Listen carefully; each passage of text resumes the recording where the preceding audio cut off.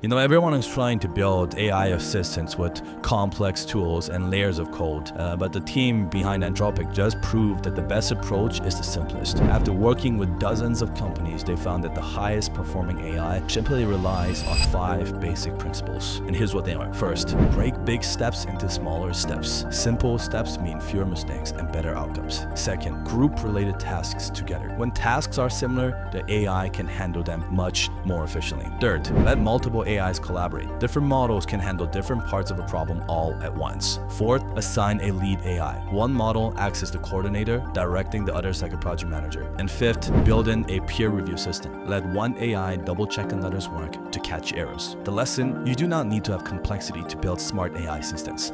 You need structure and systems. Start simple, scale smart, that's the blueprint. Do you want to learn more about the blueprint for building smarter AI? Comment assistance below and I'll break it down for you. Check out the captions for more details.